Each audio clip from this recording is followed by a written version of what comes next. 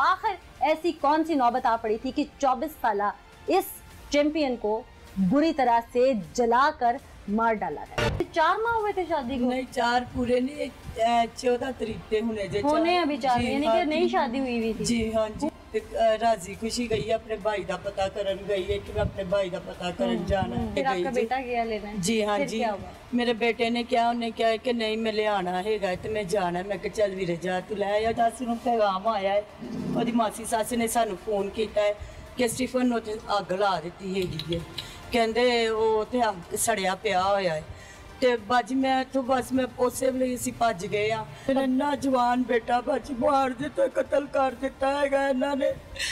कोई दुश्मनी नहीं कोई लड़ाई झगड़ा नहीं है कुछ भी नहीं है पहले उन्होंने मारिया क्यों मारा लड़ाई झगड़ा नहीं हाँ उन्होंने मोहल्ले भी कह रहे थे कहते बहुत लड़ाई की आवाज़ आ रही है बड़ा लड़न डे ने पता नहीं बाजी कोई लड़ाई है ही नहीं सी इन्ना मारिया कुटिया ने पहले मार कुट के बाद चोर साड़ दिता है सू ਜਲੇ ਦੀ ਕੀ ਉਹਦਾ ਨਾਂ ਹੈ ਪੈਗਾਮ ਆਇਆ ਹੈ ਤੇ ਅਸੀਂ ਗਏ अल्लाह आपको सब्र दे आप माँ हैं आप बहन हो मेरे भाई को इंसाफ लेके दे अगर उसका कुछ ना बना तो मैं भी इस दुनिया में नहीं रहूंगी क्यों नहीं मैं बनेगा भी खुद को उसी उसकी तरह ही जला के मार लूंगी जैसे उसके जालिमों ने उससे मारा भाभी के रवैये से लगा था कभी कैसा हो सकता है वो उसके साथ अच्छे तरीके से नहीं रहती थी। वो कहती थी कि तुम मुझे मेरे मायके नहीं लेके जाते और वो ज़्यादातर अपने मायके ही रहती थी। तो अभी शादी को दो दो अढ़ाई माह तो हुए थे सारे। जी। वो कहती थी मुझे पर्सनली बैठती थी मेरे पास तो कहती थी मेरा इधर दिल नहीं लगता। हम्म। मुझे मेरी फैमिली की याद आती है। भाई जब वो जब भी भाई को कहती थी भाई लेके जाता था। भाई अपने हज़ार काम छोड़ के उसकी इतनी केयर करता था। भाई की केयर नहीं करती थी। आपके भाई को ज़रूर इंसाफ मिलेगा। आप भी बहन हैं। भाई आपसे भी बहुत अटैच थे। हाँ जी। लास्ट टाइम मेरे मेरे साथ ही बातें कर रहे थे। क्या बात की लास्ट टाइम उन्होंने ऐसी? वह यही कह रहे थे कि मेरी आँखें खोलो मेरे साथ बातें करो। और होश में थे उस वक्त जब आप? आँखें तो स्वेल हुई हुई थी और आँखें तो खुल ही नहीं रही थी। लेकिन बातें कर रहा था बातें समझ रहा था मुझे हाथ लगा रहा था मैं कह रहा था कि मेरे लिए दुआ करो मेरी आँखें खोल दो। जैसे आप दुनिया देख रहे हो मैंने भी देखनी है। मेरे जालमों को जुल्म किया उन्होंने उनको सजा दो। नाम किसका लिया आखिरी वक्त में भाई ने कि मेरे साथ किसने किया ये सब? राजू राजू बोल रहा था राजू कौन है? राजू उसका चाचा ससुर। सलामकुम ताहिर साहब बात कर रहे हैं। जी ताहिर साहब अनीला जका बात कर रही हूँ। नियो टीवी से प्रोग्राम एंकर हूँ पुकार प्रोग्राम कैसे हैं आप? अच्छा ताहिर साहब मुझे ये बताइएगा कि यहाँ पे चामीरा में ना एक स्टीफन नाम का लड़का था जिसे जलाया गया था उसके ससुरालियों की जानिब से। वो केस क्या था पूरा?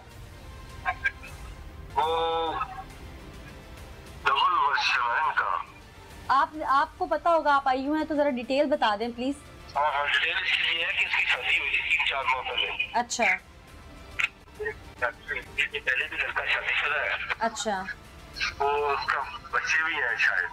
अच्छा। तो ये लड़की जो है ये बैचलर थी इसके साथ लड़की शादी शादी थी है अच्छा। तो जब उस लड़की को पता चला ना कि ये शादीशुदा है हम्म। तो वो किसी बहाने से अपने घर चली गई। है तो घर जाकर उसने कहा मैंने नहीं जाना इसके साथ। अच्छा। ये दो स्टोरियाँ ना एक वो सुनाते हैं लड़की के वालदेन और एक इसके वालदेन ठीक है ये तो हो गया कॉन्फ्लिक्ट मियाँ बीवी का। अब ये मुझे बताइए कि ये लड़का उसको जलाया गया था या क्या मामला था? हैं। हाँ ये है। उसमें ये था कि लड़के वाले ये कहते हैं कि जी हम उसका वालिद कहते हैं कि मैं मेरी वाइफ और मेरा बेटा छोटा हम दोनों। हम्म। चारों लोग गए हम लेने के लिए तो उनके साथ होगी तो उन्होंने पकड़ के पेट्रोल फेंक के आग लगा ठीक है। ये तो उन्होंने एफ़ आई आर करवाई है ठीक है। अच्छा वो लोग बताते हैं कि ये लड़का साढ़े तीन बजे पहले आया था। हम्म। इसने कहा कि लड़की को मेरे साथ भेज दो। वो उसकी माँ कहती है कि इसका वालद जो है वो शिवपुरा गया है वो जब आएगा तो फिर इसको भेज देंगे आपके ठीक है। तो वो लड़का चला गया वापस को आया पौने पाँच बजे। हम्म। और वो एक वो जगह देखी आपने? गए उधर आप? नहीं नहीं मैं अभी गई नहीं।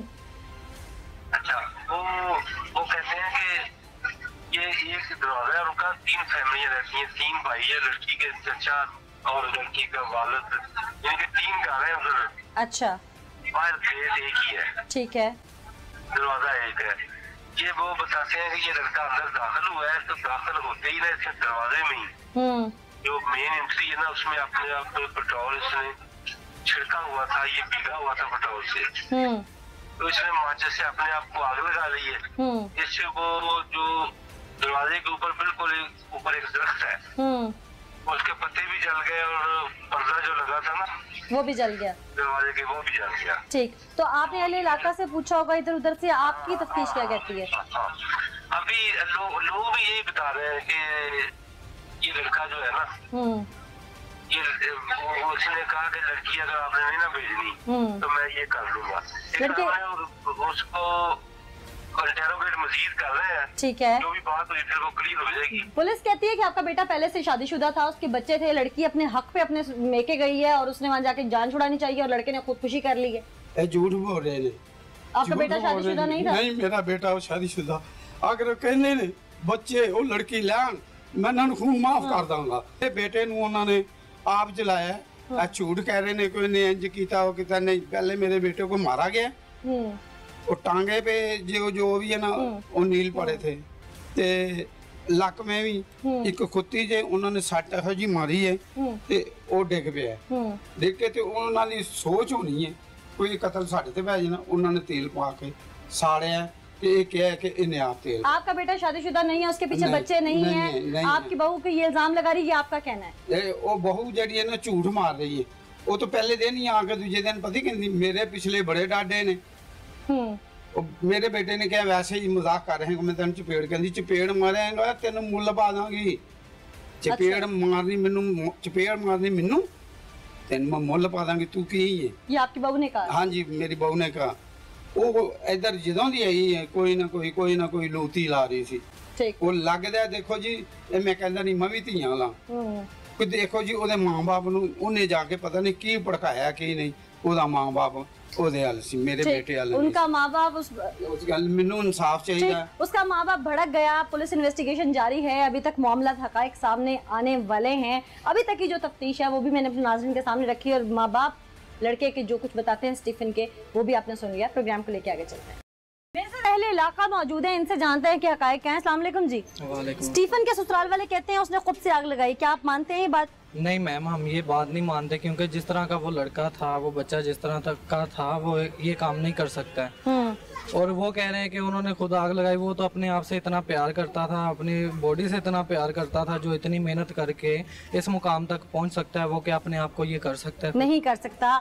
स्टीफन के ससुराल वालों का इल्ज़ाम है कि स्टीफन जो है वो पहले शादीशुदा था और उसने ये सारा ड्रामा रचा, पेट्रोल में लथपथ होके आया और खुद से माचिस की तीली फेंकी। आप मानते हैं ये बात? इस तरह नहीं है। वो तो अंडर एज से एक स्पोर्ट्स मैन है और इसी तरह उन्होंने अपनी स्पोर्ट्स में अपना नाम कमाया और आपने इतने उसके मेडल जो भी देखे हैं सारी चीज़ें उसकी कवरेज पे हैं और ये कोई हकीकत पे मबनी नहीं है। हकीकत पे मबनी बात नहीं है। स्पोर्ट्स मैन जो होता है उसके असाब शल नहीं होते जल्दी। उसको बड़ा ग्रिप होती है अपने असाब पे अपने आप पे। जी बिल्कुल इसी तरह ही है।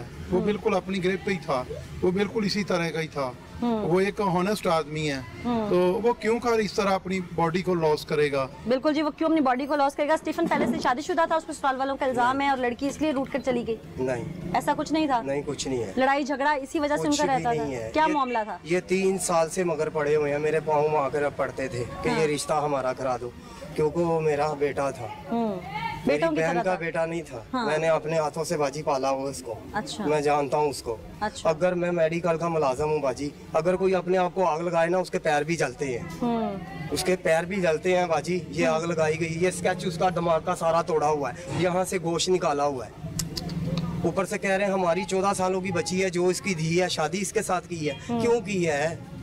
हम उसी टाइम नहीं मार रहे थे। ये हमारे पैर ही पड़ते थे बाजी आके हम झूठ नहीं बोल रहे बाजी अरेंज मैरिज थी स्टीफन की ये।